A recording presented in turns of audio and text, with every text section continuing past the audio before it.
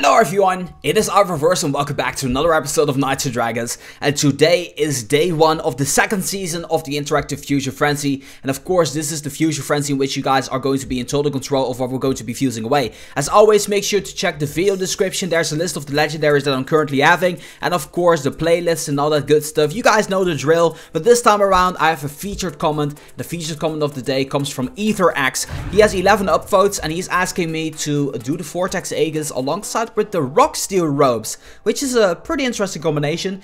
Gives us uh, the ability to get a few epics here and there. First one is Arcane Mantle, Northerners Battle Gear, Centurion Aegis, Tectonic Mantle, Armor of the Komodo, Druidic Blade the first duo, Arbor Steel Vanguard, and of course the Aquatic Battle Gear. So there's a few epics that I actually want to be getting. For example, I want the Centurion Aegis, I would like to be getting the Druidic, and of course the Aquatic Battle Gear. Those are the epics that I'm going to be aiming for. So here we go. We're actually going to go ahead and select those armor in the Fusion Master. I'm very stoked and very excited. Uh, you guys have no idea, I'm actually really nervous because this is the first episode in this frenzy and hopefully it's gonna go well. It would be so great if we would start off with an epic, like seriously. Okay, here we go.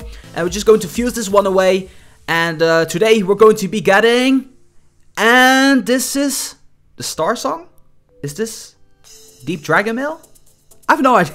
I have no idea. This oh Deep Dragon Mail. I was correct about that. So this one's going to be added to the list of the uh, legendaries that we're currently having, and I'm pretty happy because we are done with the first fusion in the Interactive Fusion Frenzy. As always, an episode is going to be coming out tomorrow, and make sure that you guys look forward to that because of course without you this Interactive Fusion Frenzy would have not been possible. So on that note, I'm going to be around this episode of here. As always, make sure that if you guys like this video to boom, give it a thumbs up.